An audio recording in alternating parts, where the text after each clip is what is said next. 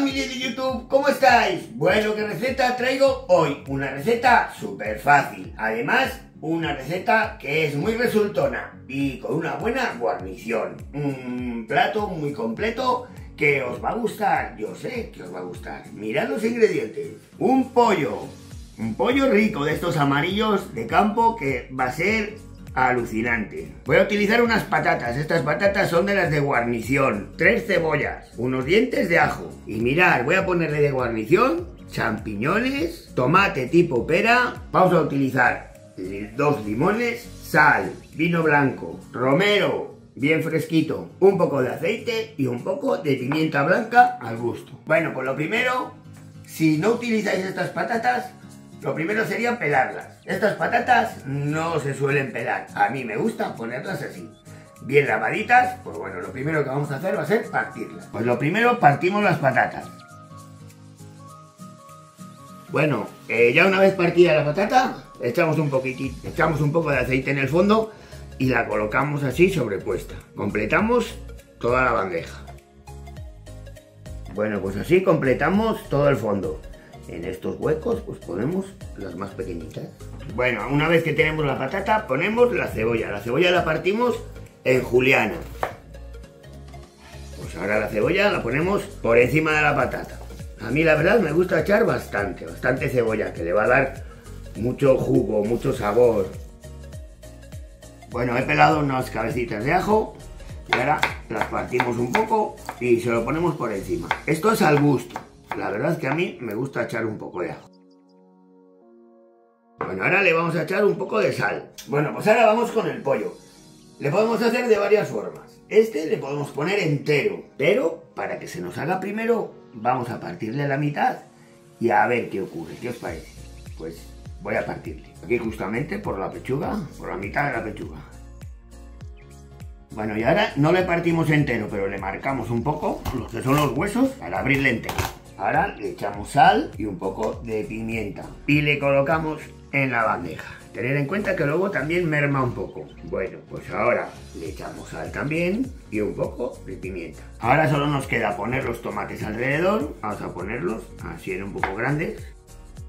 Ahora vamos a limpiar un poco los champiñones, ya están lavados, pero le vamos a quitar un poco el culo y se lo ponemos alrededor. Les partimos un poco en cuatro y lo ponemos alrededor. Bueno, mirad cómo va. ¡Qué maravilla! Esta receta me la ha pedido mi amigo Rodrigo Alonso, la ha pedido. Que por favor, que un pollo al horno. Digo, pues venga, una receta diferente. Y si os está gustando, suscribiros, dar a like, activar la campanita y comentarme, comentarme qué os ha parecido esta receta. Que vamos a terminarla de ver después, ¿eh? Llegar hasta el final. ¿Y qué receta queréis que preparemos? Pues nada, solo me falta echar un poco de zumo de limón pollo al limón.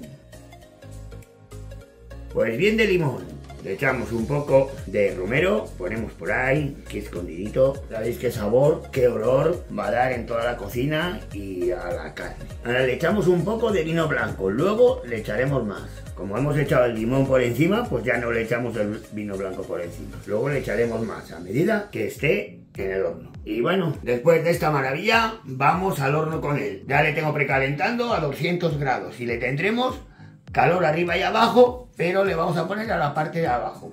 Y vigilar, vigilar un poco si hace falta subir y bajar la temperatura. Calculo que puede estar en una hora y media. ¿eh? Dejar que el pollo se haga y la guarnición, los champiñones, la patata. O sea que enseguida nos vemos. Hasta ahora. Bueno, bueno, el resultado final. Le he tenido casi dos horas. ¿eh? Casi dos horas le he tenido, controlándole un poco el color y demás. Pero, pero, mirad, mirad. ¿Eh? Se rompe la piel, la piel tiene que estar buenísima. Los champiñones cocidos, la patata, la cebolla bien pochadita y el olor, el olor que desprende, bueno, está para comérselo. Ah, y siempre con protección, ¿eh? De horno. Siempre. Bueno, pues vamos a partir una ración. La verdad que a mí me gustaría poner medio, pero vamos a partir un muslo. Como cruje. Esto es fácil de trinchar. Como veis, el muslo sale solo. Mirad, mirad, mirad la carne. Se desmiga entera. Ponemos el muslito. Vamos a poner un par de tomates y un poco de guarnición de patata y champiñón junta, mezclada. Las hierbas aromáticas las quitamos. Bueno, pues huele que alimenta, huele que alimenta. ¿eh? Yo la salsa la pondría aparte, nunca se la echaría por encima. La piel tiene que estar crujientita. Y voy a probarlo, voy a probarlo. Voy a probar primero la patata. Ya se deshace entera. Bueno, dije que iba a quitar los, las hierbas aromáticas, pero han quedado alguna.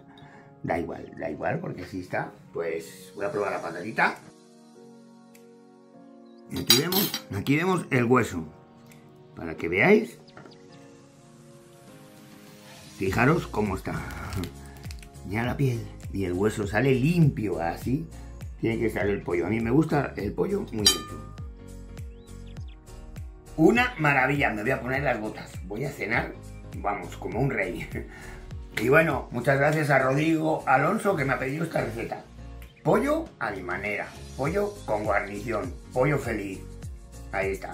Pues nada, suscribiros si os ha gustado, dar a like, activar la campanita para que YouTube os avise de todos mis vídeos y pedirme recetas, pedirme recetas.